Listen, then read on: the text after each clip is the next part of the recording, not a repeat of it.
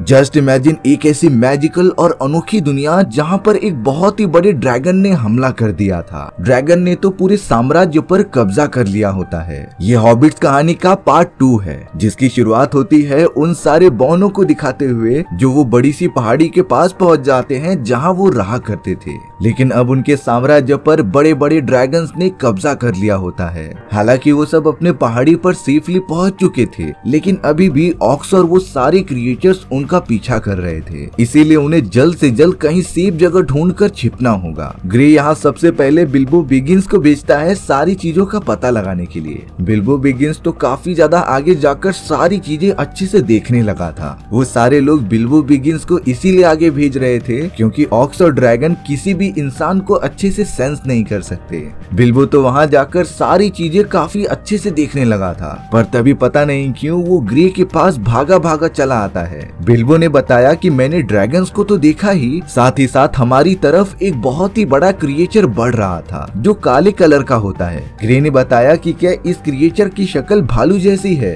तब जाकर बिल्बो कहता है कि ये बहुत ही बड़ा भालू ही है। ग्रे कह रहा था कि हमें अपनी जान बचाकर यहाँ से भागना ही होगा, क्योंकि उस भालू का नाम प्योर है, जो अपना रूप बदल लेता है। और अपने भालू जैसे क्रिएचर के फॉर्म में बदलने के कारण वो सामने आने वाले किसी को भी नहीं छोड़ता। प्योर तो अब उन सारे बौनों के पीछे पड़ गया था उन्हें मारने के लिए। पर बिल्बो बिगिंस और वो सारे बौने पास ही वाले एक घर के अंदर जाकर छुप जाते हैं। उन्हें सिर्फ़ अब सुबह होने का वेट करना था जब बियर अपने इंसानी रूप में आ जाएगा। एक रात वो सारे बौने वहीं पर गुजारते हैं। और अब कुछ देर बाद प्योर वहाँ पर आ चुका था जिससे की शुरुआत में बौनों से बहुत ही ज़्यादा चिड़ होती है। लेकिन जैसे जैसे वो उन सारे लोगों से बात करता गया, तब प्योर उनसे फ्रेंडली हो जाता है। दरअसल प्योर भी ऑक्स से बदला लेना चाहता था, क्योंकि कुछ टाइम पहले ऑक्स ने ही उसकी सारी फैमिली को मारकर खत्म कर दिया। इसीलिए अब ग्रे के समझाने के बाद प्योर उन सभी का साथ देने के लिए रेडी हो जाता है। यानी कि अब प्योर भी बोनो के साथ मिलकर ड्रैगन्स और ऑक्स से लड़ाई करेगा।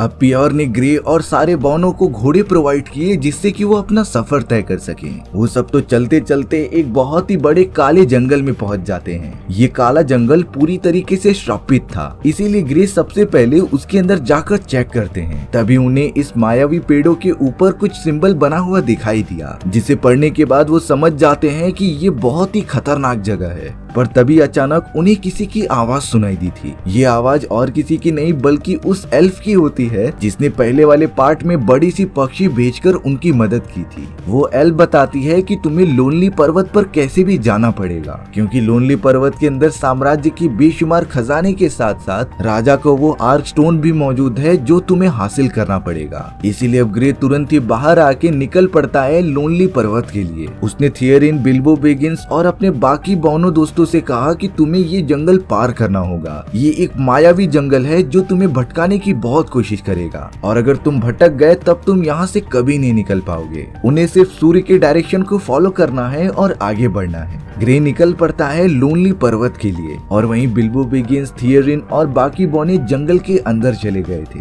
शुरुआत में तो सब कुछ ठीक रहता है, लेकिन थोड़ी देर बाद ही उन सभी को नशा सा होने लगा था। और इसी नशे के कारण वो सब अपना रास्ता भूल जाते हैं। यानी कि वो सब इस मायावी जंगल में भटक चुके थे। लेकिन अब रास्ता पता करने के लिए बिल्बो बिगिंस एक पेड़ पर चढ़ जाता है, जिससे कि वो सूर्य की लोकेशन का पता लगा सके। पेड़ के एकदम टॉप पर पहुँचने के बाद बिल्बो बिगिंस को सूर्य दिख जाता है। यानी कि अब उसे पता था कि किस डायरेक्शन में हमें आगे बढ़ना है। लेकिन बिल्बो बिगिंस पेड़ से उतर ही रहा था, तभी उसका पैर फिसल जाता है, जो सीधा जाकर स्पाइडर्स के बड़े बड़े जाल के अंदर गिर गया था। हलचल होने की वजह से वहाँ पर बड़े और खौफनाक स्पाइडर्स भी आ जाते हैं। जिन्होंने देखते ही देखते वहाँ मौजूद सारे बौनों पर हमला करना स्टार्ट कर दिया था। वो तो बिल्बो बिगिंस के साथ सभी बौनों को अपने जाल के अंदर बंद कर देते हैं। लेकिन कुछ ही देर बाद बिल्बो बिगिंस उनकी कैद से आज़ाद हो गया था। सबसे पहले उसने अपनी वो मायावी अंगूठी पहनी, जिससे कि बिल्बो बिगिंस वहाँ से गायब हो गया था। यानी कि वो स्पाइडर भी बिल्बो बिगिंस को बिल्कुल भी नहीं देख सकते। बिल्बो ने तो बड़ी बहादुरी से अपनी तलवार उठाई और सामने आने वाले कई सारे मकड़ियों को मार गिराया। बिल्बो ने तो कैसे भी करके अपने कैद हुए साथियों को भी छुड़ा लिया था और अब वो लगातार उन स्पाइडर्स को मारते हुए आगे बढ़ता ही जा रहा था। हालाँकि बिल्बो बिगिंस ने अपने सारे बोनो दोस्तों को आज़ाद कर दिया था, पर अब वहाँ पर तो भारी मात्रा में और भी ज़्यादा स्पाइडर्स आ जाते हैं। फ़िलहाल तो वो सारे बौने अपनी जान बचाकर भागने लगे थे,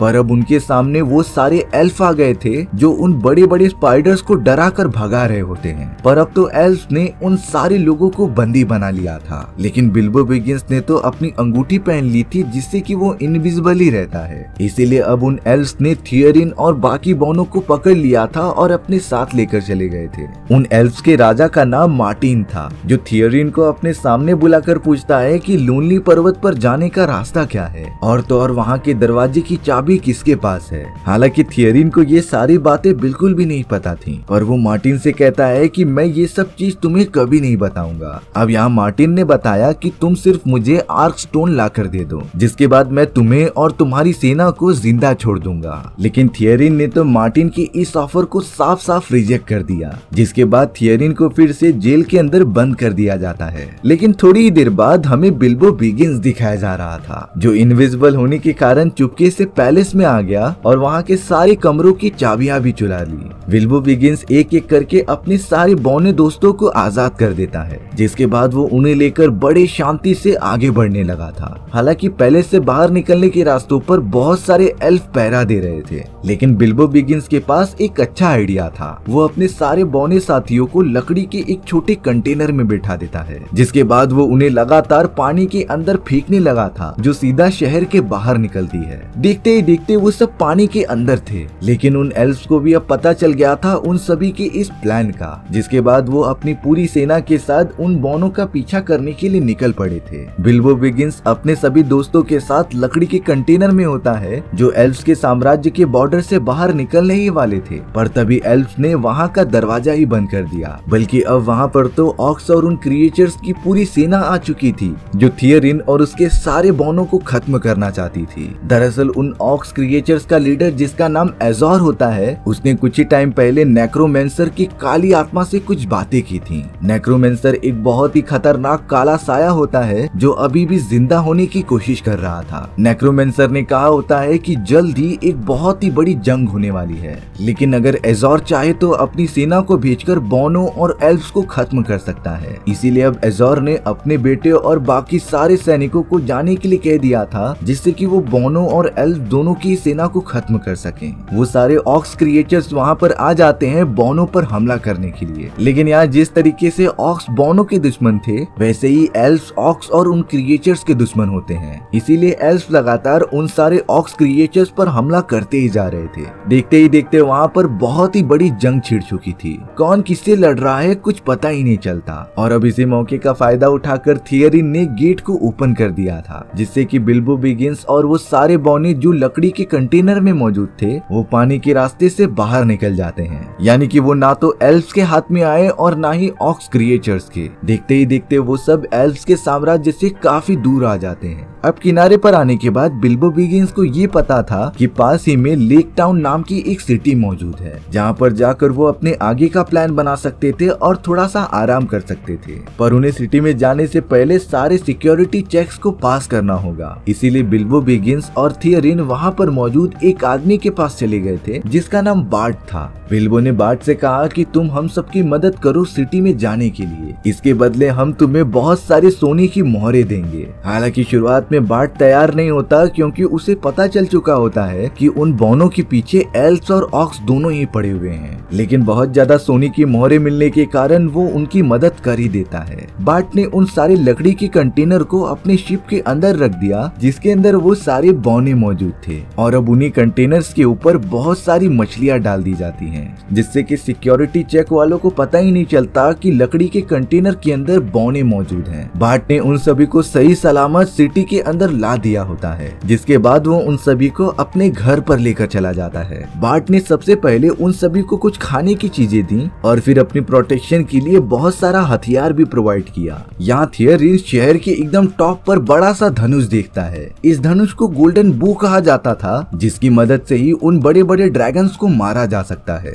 थियरिन तो अपने कुछ पुराने पलों को याद करने लगा होता है, जिसमें की वो इस गोल्डन बू का यूज़ करता था। वही दूसरी तरफ़ एल्स और ऑक्स की लड़ाई में एल्स काफ़ी ज़्यादा आगे निकल चुके थे। एल्स ने तो एक ऑक्स क्रिएचर को अपना बंदी बना लिया था। और अब एल्स के राजा मार्टिन लगातार उस क्रिएचर से पूछताछ कर रहे होते हैं। वो क्रिएचर बता रहा था कि तुम सब जल्द ही मरने वाले हो, क्योंकि हमारा राजा एजोर अब शांत नहीं बैठेगा। साथ ही साथ अब तो एजोर के भी मास्टर जाग चुके हैं। हालाँकि मार्टिन और एल्प्स की सेना भी क्रिएचर से बदला लेना चाहती थी, लेकिन उन्हें सबसे पहले इन सभी के लीडर एजोर को खत्म करना पड़ेगा। मार्टिन इसीलिए उस बंदी बनाए गए क्रिएचर से पूछते रहता है कि तुम्हारा मालिक कहाँ पर होगा। लेकिन यहाँ सुन नाम की एक एल्फ उन सारे बौनों और बिल्बो बिगिंस की मदद करना चाहती थी, क्योंकि उनकी सेना में एक लड़का होता है जिससे कि सुन प्यार करती थी। सुन के साथ साथ लियो नाम का एक दूसरा एल्फ जो राजा मार्टिन का बेटा था, वो भी निकल पड़ा था बौनों की मदद करने के लिए।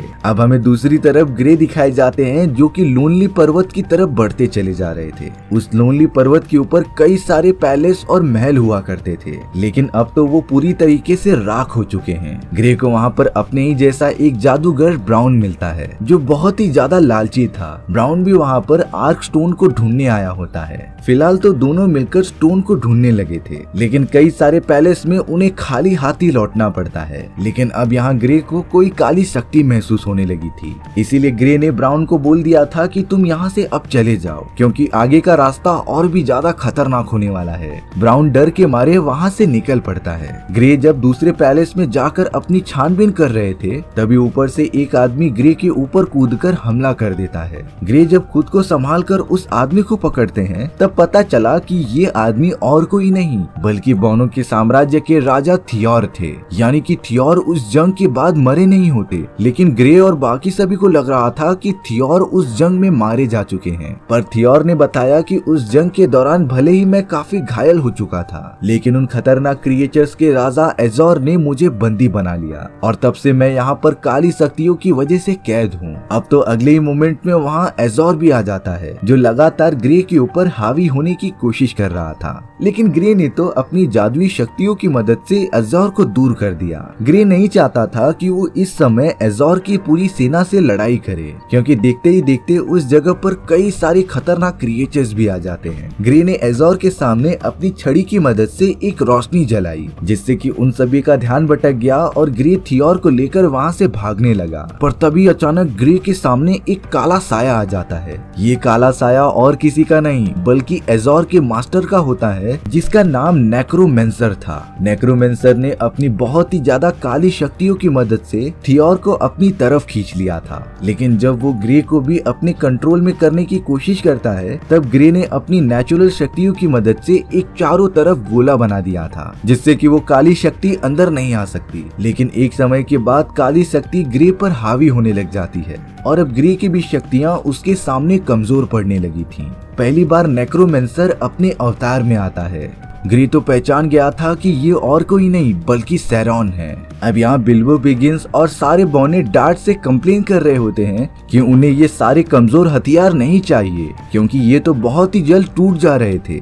इसीलिए बिल्बो बिगिंस अपने बौनो दोस्तों के साथ निकल पड़ा था पास ही वाले राजा के महल में जहाँ से वो बहुत सारे हथियार चुरा सके। लेकिन बदकिस्मती से उन सभी को चोरी करते हुए पकड़ लिया गया था। और अब बिल्बो बिगिंस, थियर और सारे बौनों को बंदी बना लिया जाता है। राजा सारी प्रजा के सामने उन सभी को दंड देने के लिए बुला लेते हैं। लेकिन राजा उन बौनों को मारता नहीं, क्योंकि कुछ समय पहले वहाँ पर एक भविष्यवाणी हुई थी। जिसमें बताया गया था कि अगर उनकी सिटी में बौने वापस आ जाएँ तब कुछ समय बाद शहर पूरी तरीके से आज़ाद हो जाएगा। जब राजा को पता चला कि थियोरिन और किसी का नहीं, बल्कि महान राजा थियोर का बेटा है, तब वो उसे अपने राय पेश करने की परमिशन दे देते हैं। थियोरिन राजा और सारी जनता को बता रहा था कि हमारे साम्राज्य के बड़े से महल के अंदर काफ़ी सारे सोने और जवाहरात मौजूद हैं। और अगर हम सब मिलकर उन ड्रैगन्स को हराने में कामयाब हो गए, तब उस सारे सोने में जनता के हर एक आदमी की हिस्सेदारी होगी, जिससे कि हमारा पूरा साम्राज्य एक बार फिर से झूम उठेगा। पर तभी उस जगह पर डार्ट आ जाता है जिसने उन सभी की मदद की थी। डार्ट कह रहा था कि ये सारी चीज़ें जितनी इजी दिख रही हैं, उतनी है नहीं। क्योंकि अगर वो खतरनाक ड्रैगन एक बार ज़िंदा हो गया, तब हमारी सिटी को ही डिस्ट्रॉय कर देगा। लेकिन अब की बार राजा थियोरिन का साथ देते हैं। उन्होंने डार्ट को बताया कि तुम्हारे फादर जो वो गोल्डन बोट चलाते थे, उन्हीं का निशाना चूकने की वजह से ड्रैगन ने इतनी ज़्यादा तबाही मचाई थी। लेकिन इसका मतलब ये नहीं कि तुम्हारे फादर की तरह सभी लोग गलती करें। राजा को थियोरिन का प्लान अच्छा लगता है, इसीलिए वो और उसके बाकी सारे दोस्तों को छोड़ देते हैं। और बिल्बो बिगिंस अपने बाकी बोनो दोस्तों के साथ लोनली पर्वत की तरफ़ निकल पड़ा था। अब यहाँ पर वो समय आने वाला था जहाँ से वो महल का रास्ता ओपन होगा। उनके पास तो दरवाज़ा ओपन करने की चाबी भी होती है। लेकिन किसी को भी महल के अंदर घुसने का दरवाज़ा दिखाई ही नहीं देता। पर बिल्बो बिगिंस ने बहुत ही कम समय में उस दरवाजे को देख लिया होता है, जिसे कि तुरंत ही चाबी की मदद से ओपन कर दिया गया था। लेकिन अंदर मौजूद वो खतरनाक ड्रैगन बोनो को पहले से ही पहचानता था। इसीलिए थियोरिन ने बिल्बो बिगिंस को सबसे पहले अंदर जाने के लिए कहा, क्योंकि वो एक इंसान है और ड्रैगन इंसान को कभी चोट नहीं पहुंचाते। बिल्बो बिगिंस जब पहली बार अंदर जाता है, तब उसने वहाँ पर सोने जवाहरात की एक बहुत ही बड़े पहाड़ को देख लिया था। लेकिन अब बिल्बो बिगिंस को कैसे भी करके वो आर्क स्टोन ढूंढना होता है, जो इतने बड़े सोने के भंडार में कहा मौजूद है, पता नहीं। लेकिन फिर भी बिल्बो बिगिंस अपनी हिम्मत नहीं हारता और स्टोन को ढूँढने लग जाता है। पर अब हलचल होने की वजह से वो खतरनाक ड्रैगन अब जाग चुका था। बिल्बो बिगिंस ने तो वहाँ पर मौजूद आर्क स्टोन का भी पता लगा लिया होता है। पर वो जैसे ही स्टोन को लेने जाता, वो खतरनाक ड्रैगन तो लिटरली बात करने लगा कि यहाँ पर कौन आ चुका है जो मेरे खजाने को चुराना चाहता है। बिल्बो बिगिंस ये जानकर थोड़ा सा चौक गया था कि वो ड्रैगन्स बोलता भी है। लेकिन अब बिल्बो बिगिंस बिना कुछ सोचे समझे आर्क स्टोन उठाकर भागने लगा था। खतरनाक ड्रैगन भी लगातार उसका पीछा करते ही जाता है। अब तो थियरिन और बाकी सारे बौने भी बिल्बो बिगिंस से मिल चुके होते हैं। बिल्बो बिगिंस के पास आर्क स्टोन मौजूद था। इसीलिए वो सारे लोग जल्द से जल्द महल से बाहर निकलने की कोशिश करने लग जाते हैं। लेकिन कुछ ही दूर जाने के बाद उन लोगों ने देखा कि बाहर जाने का दरवाज़ा बंद हो चुका है। यानी कि वो सब पूरी तरीके से महल के अंदर फंस चुके हैं। काफ़ी ज़्यादा सोचने के बाद थियरिन ने डिसाइड किया कि अब उनके पास ड्रैगन से लड़ने के सिवा कोई और रास्ता ही नहीं है। इसीलिए अब वो सारे लोग उस भट्टी में आ जाते हैं जहाँ पर वो कभी सोना पिघलाया करते थे। थियरिन और बाकी बोनों ने ड्रैगन को अपनी तरफ़ आकर्षित किया जिससे कि वो इस भट्टी में फिर से आग जला सके। ड्रैगन ने तो उन सभी को मारने के लिए अपने मुँह से लगातार आग निकालना भी स्टार्ट कर दिया था, जिससे कि वो भट्टी एक बार फिर से गर्म होकर चालू हो जाती है। उन बोनों की टीम ने बहुत सारा सोना पिघलाकर राजा की एक बड़ी सी मूर्ति बना दी थी। वो बड़ा सा ड्रैगन जैसे ही मूर्ति के सामने आता है, तभी उन लोगों ने मूर्ति को फिर से पिघला दिया। और अब जलते हुए सोने के अंदर वो ड्रैगन बुरी तरीके से फंस जाता है, जिससे कि ड्रैगन बहुत ही ज़्यादा कमज़ोर हो चुका था। वहीं हमें लेक टाउन में डार्ट को दिखाया जाता है, जो सोचता है कि भले ही मेरे फादर ड्रैगन को ना मार सके थे, लेकिन अभी भी उसके पास गोल्डन धनुष की वो एरो पड़ी हुई होती है, जिससे की ड्रैगन को पूरी तरीके से खत्म किया जा सकता था।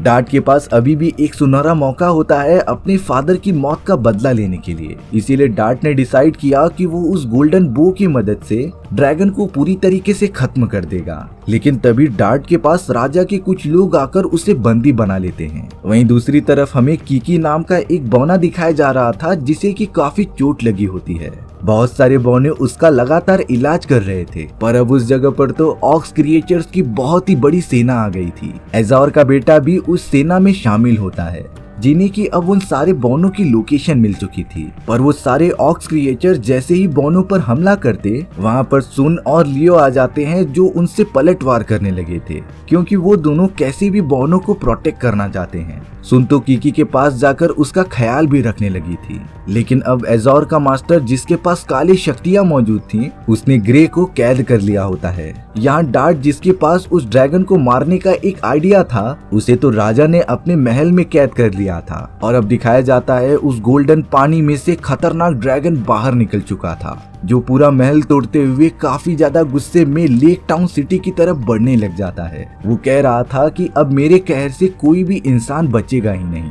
बिल्बो बिगिंस को पता चल चुका था कि उन लोगों ने कितनी बड़ी गलती कर दी है। और अब शहर वालों को ड्रैगन से कौन बचाएगा? इसी सस्पेंस के साथ हमारी ये कहानी यहीं खत्म हो जाती है। सो so व्यूअर्स आपको ये स्टोरी कैसी लगी? कमेंट सेक्शन में बताना भूलना मत। और अगर आपको मेरा एक्सप्लेनेशन एक परसेंट भी अच्छा लगा होगा ना तो वीडियो को लाइक एंड चैनल को सब्सक्राइब ज़रूर ज़रूर ज़रूर कर देना। मिलते हैं नेक्स्ट वीडियो में। Bye bye